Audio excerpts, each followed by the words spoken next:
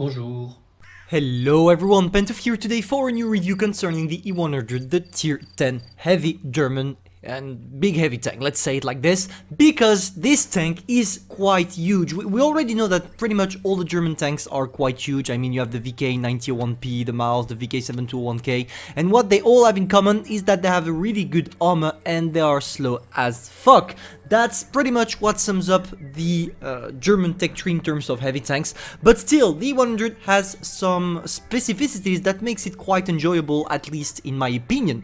So overall, if we talk about the tank armor's profile, it's really simple. You have two weak spots, the lower part of the hull, which everybody's gonna penetrate uh, without using too much, uh, without using too much gold, uh, especially tank destroyers, but that's logic, and the uh, turret the main problem of the turret, there are two things that you need to know. This little bar here is a weak spot. Everybody can penetrate that, so be aware of that when you're playing with this tank. And also, as you can see, even if the turret is quite uh, not that much angled, the turret is not angled, and that's the main problem with the 100, and that's why a lot of people don't like it and would rather play other tanks such as the Maus, for example, because at least even if the Maus cheeks are quite easy to penetrate, you can angle them a little bit because it's quite round. Here for the 100 it's not the case. I mean, you have 250 millimeters of hull armor, but as soon as someone loads gold, they are gonna penetrate that turret. And that's why it's really important with the 100 to know how to angle. If you don't angle and you don't know anything about angling your tank to artificially increase your turret armor, it's not a tank made for you. So pretty much that's it for the armor. You also have spaced armor on the sides, which makes it quite effective in order for you to bounce shells if you try to side scrape. You have an amazing, one of the best, if not the best, uh, side armor of all the heavy tanks at tier 10 but I think that's the IS-4 that has the the first place. But if if IS-4 comes first the 100 comes second. Now for the rest even if uh, it's still armored at the at the rear of course everybody's gonna penetrate. That's it for the armor now let's talk about what is really interesting about this tank maybe the first thing to notice is that you're gonna have the Maus gun at first when you unlock the 100 you will have to green 63,000 experience in order for you to unlock the last gun which is simply a beast. I love that gun. You have, even if you have a bad gun dispersion, 0.33, you still have a good damage per minute, a long reload time, but what is really impressive is the alpha damage, 640. So you basically have a tank destroyer gun on a super heavy German tank. And that's what makes it lovable, at least in my opinion. And you will not lack of penetration because you have 258 with the regular, which can be quite low in terms of shooting some targets. Sometimes you're gonna struggle, so you would rather shoot with gold. And with gold, you're not gonna bounce anything 334. Just be aware of one thing when you're shooting with this tank. You have heat shells. Heat shells can go through spaced armor, so be aware of what ammunition you're carrying and who you're shooting with uh, with your uh, with your heat shells. Now, for the mobility, we have a big German heavy tank. It's quite armored. Of course that you're not going to be able to go fast. It's the main problem of the 100. You lack of mobility on both the traverse speed and the top speed. But let's face it, with that kind of armor, it was logic that Wargaming will not put it uh, like, uh, will not put an E100 going at 60 kilometers per hour something like this. So overall, that's it for the E100. Now, how am I playing it for the provision? I go for the three last one as usual. For the ammunition, I go for 27 AP, 15 hits and 8 HEs because you're gonna have some fun with HE if you manage to penetrate. It goes to more than 1k damage, which makes it quite juicy in terms of damage.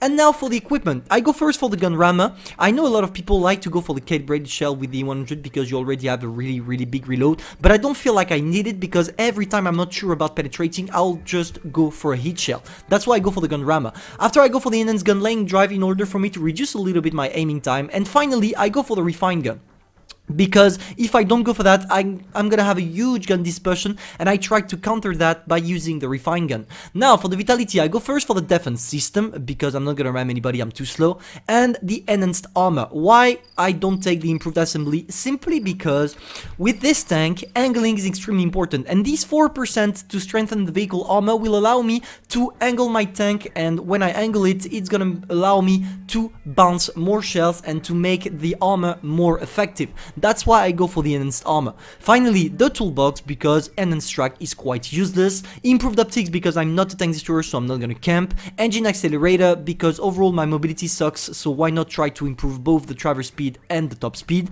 And finally, consumable delivery system because I would rather be able to use adrenaline more often than being able on a short period of time to use it a little bit more. That's how I'm playing my E100. Now let's go for some live battles. Alright, so now regarding the playstyle, uh, it's simple. You have a lot of armor and a big gun and a bad mobility, so what do you need to be on? You need to be on the front line. You need to try to angle the maximum you can the tank when you're reloading to avoid being penetrated, especially in the turret. But if I had to say, you have one universal playstyle with the 100, you hide your lower plate and you angle your turret after firing. That's all you need to do in order for you to do great games. Okay, here we all need to go on the left to the top. Problem is, I'm really slow, so I'm probably gonna take a lot of time to be able to get there. But still, that's where we need to go, and that's where we are going. Okay, is the first... No, okay, I thought Foch was AFK, but it's not the case. They have plenty of mediums, so of course they're gonna play it at the top on the left. Uh, it's quite good that they have a lot of mediums, because mediums usually don't have the best penetration, which is an advantage, especially when you're angling your turret, because the more you angle, the harder it is for your enemies to penetrate. So, let's take some advanced position. But the problem is, we are going to take so much time to be able to get into position that probably all the mediums uh, are gonna have advanced position on me. But I still need to go there. I still, I still need to go there. Okay, there, there is someone in the town. It's, it's not gonna stop me, so who cares? Come on, maybe I can sneak an H. Nah, you know what? I'm gonna wait for the T92 or Progetto to do a mistake. Nice. First mistake from the T95E6. He doesn't try to hit back and we kill the T62A.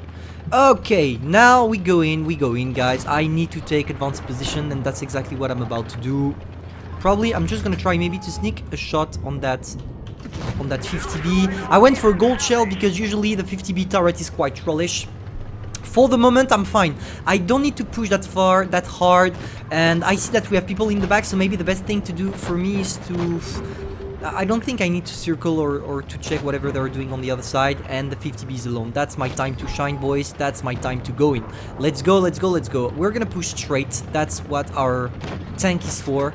I'm gonna try to sneak maybe a, an HE on the Progetto. That would be awesome. Alright, can we sneak a shot on the Progetto? No, we can't. No, unfortunately, I did not manage to penetrate the Progetto with HE, but maybe, maybe in, maybe that in seven seconds I'm gonna be able to destroy it. Four, three. Okay, no, no need for it anymore. Okay, now we go for the 50B. I'm probably gonna take all the shots, but I have enough HPs. 50B is reloading. Let's try to maybe sneak some HEs on the guy.